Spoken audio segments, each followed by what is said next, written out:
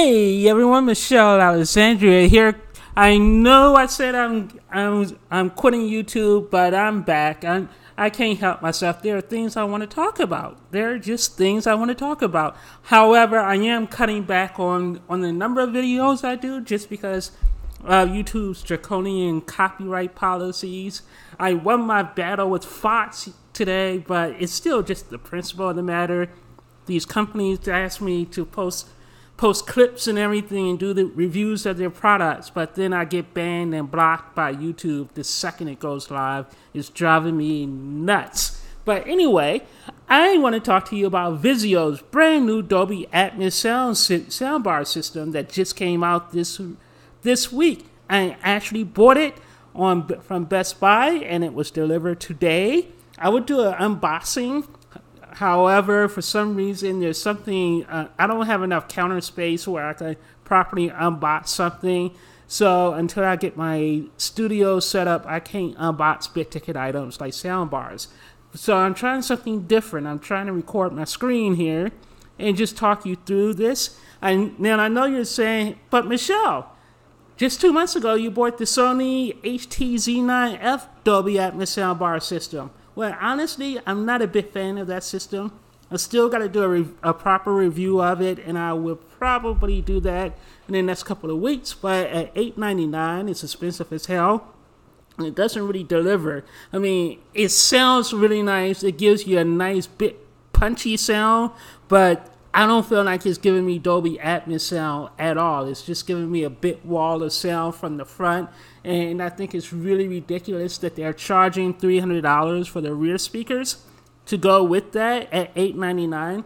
So all year I've been looking forward to uh, seeing what Vizio comes up with, and they had themselves a winner on paper because on paper this system is really nice. You get the full speaker system, and you get two. Uh, two rear surround surround sounds. They also have built-in up-firing speakers. So they have up-firing speakers right here, right here, and then they have the regular rear speakers right here.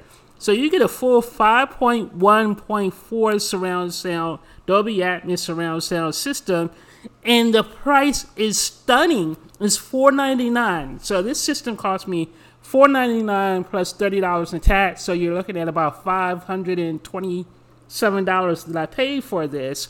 So I'm really looking forward to giving this thing a whirl. When I got it, the box is actually really pretty small. So I am kind of and I'm kind of really impressed with that, and I'm really impressed with the price. So at $4.99, you can put up with a lot of stuff for a 5.1.4 surround sound system at $4.99. That is a great price for a soundbar system. I think. Any soundbar system that's over $500 is just way too much money.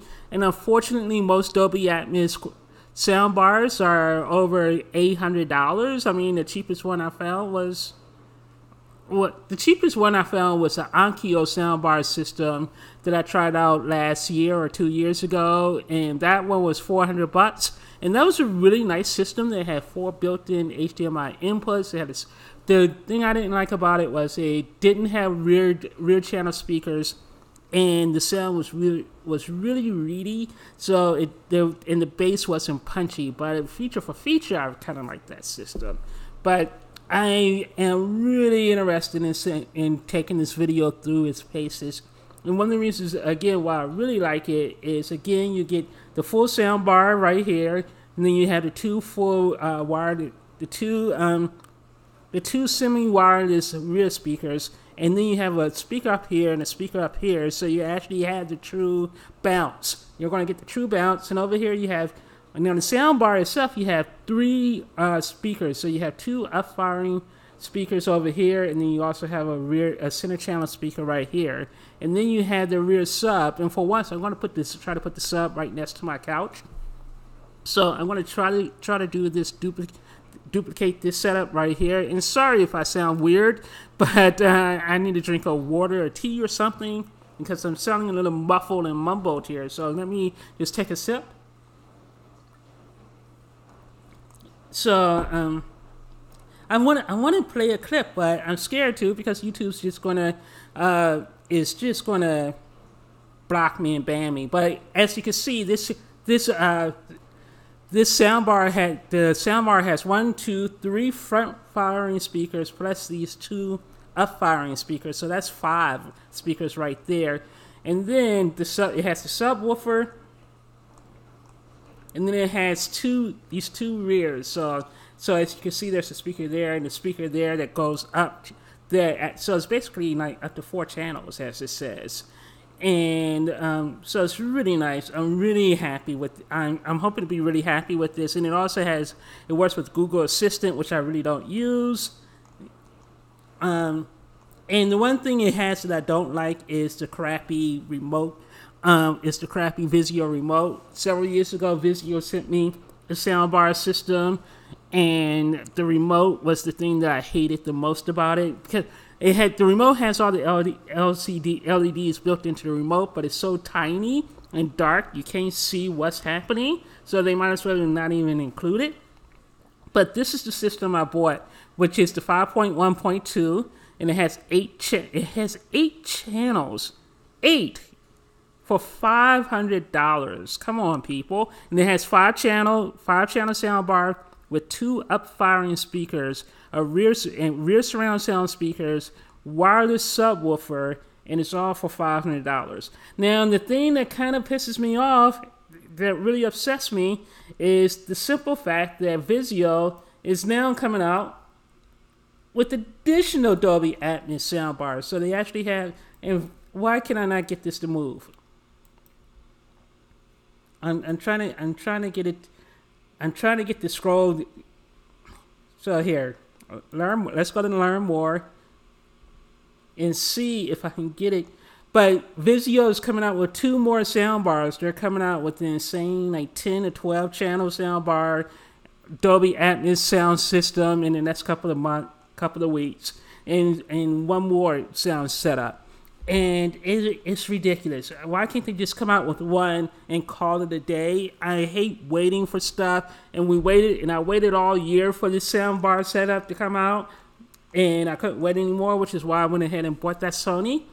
Um, but yeah, I don't understand Vizio's marketing and why they're waiting so to so late in the year to release stuff. But the one thing I do like about that is they're releasing stuff when it's ready. They're not releasing stuff early and telling us we're going to give firmware stuff.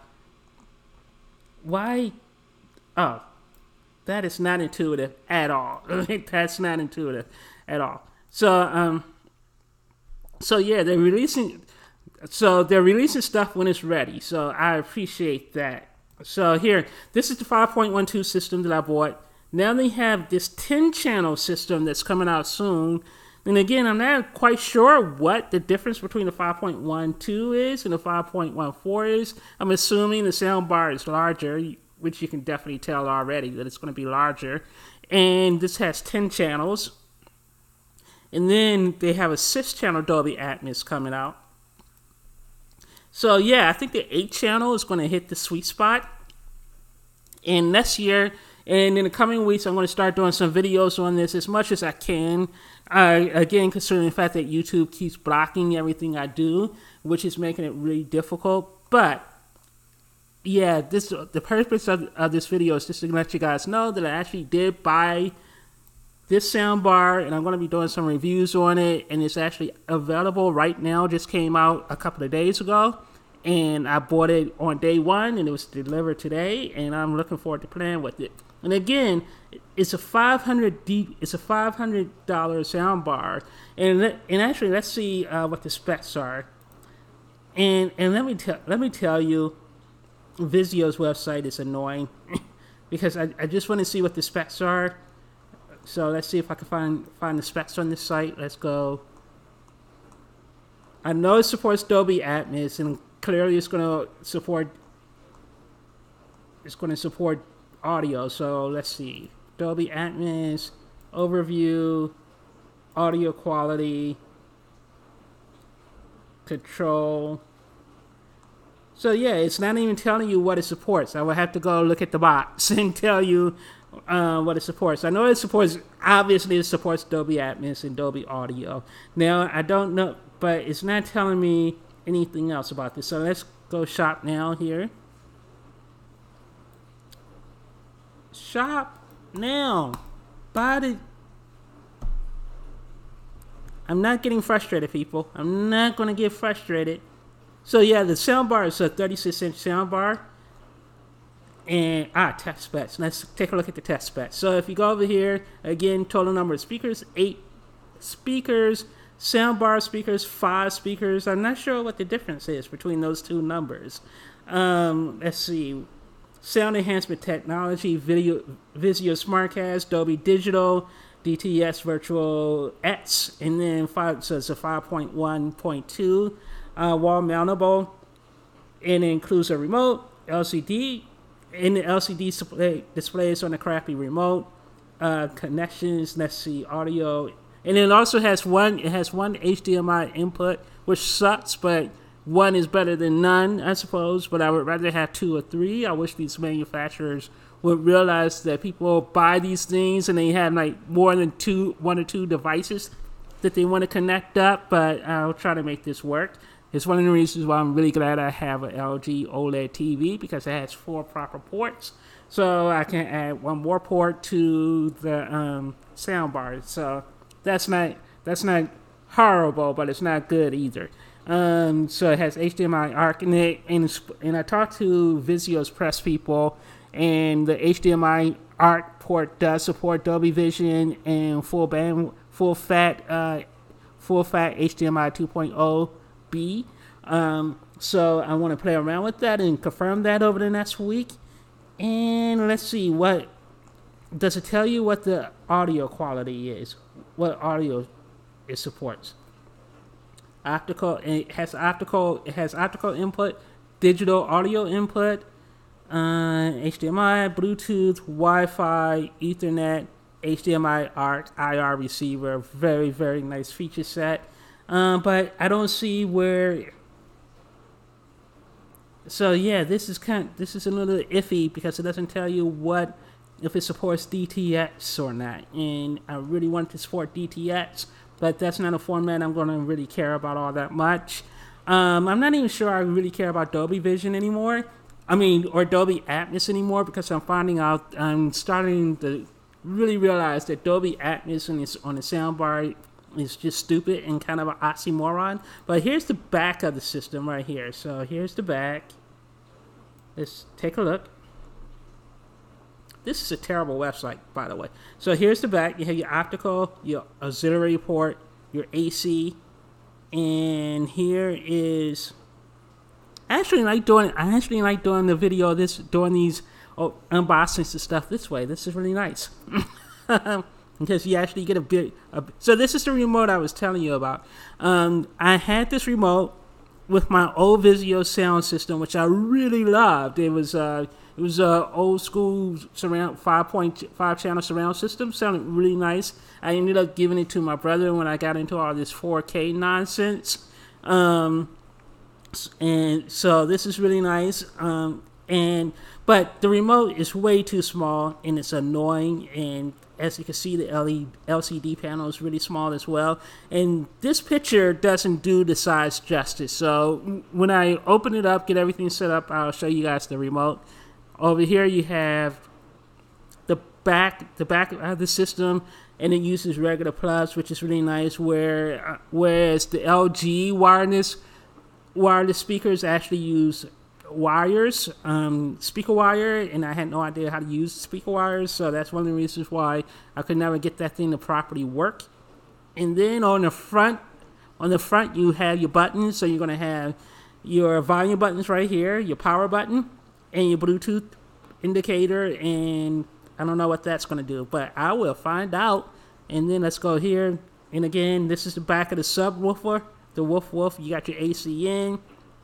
You, and I guess you plug your surround sound. So basically, what's going to end up happening is I'm going to put the put the subwoofer, the wireless subwoofer, by my couch, and then hook up the surround sound to, directly to the sub subwoofer, but I wish these were fully wireless speakers. That's one of the things I really loved about the Damson setup. Was the Damson setup was fully wireless speakers throughout, and it, and then you can actually add additional speakers. So you can have up to eight wireless speakers throughout your house with the throughout your living room or throughout your house with the Damson setup, which was a really nice perk. The only thing I didn't like about the Damson setup was the lack of an LCD. If it had an LCD, I would have kept that system because it sounded really, it sounded really nice. I love that system, but again, at nine hundred dollars, it was just way too much money. Um, so yeah, this is the Vizio. This is Vizio's brand new Dolby Atmos soundbar setup, and I have it. I have it in my hot little hands, and I will be playing with this pretty darn soon. Over the next few days, I'm going to hook it up. I'm going to hook it up to my brand new uh, Panasonic UB820 uh, U- UHD player, which I also have to review. So I'll be doing that in the next couple of weeks. And in the meantime, I'm also watching a whole bunch of television pilots, and I watched almost every new show that's premiering next week. So I'm trying to get those reviews written up, and I hope to do some videos on them. But I'm not sure how to do it with YouTube blocking everything I do. So anyway, look for those in the next week or two because there's a whole lot of cool stuff coming up on this on the site at at eclipsemagazine.com and on this YouTube channel, which is my name, Michelle Alexandria. And if you want to find me on, on Twitter, go to Eclipse Magazine. That's all you have to do. So I'll talk to you guys later. Bye.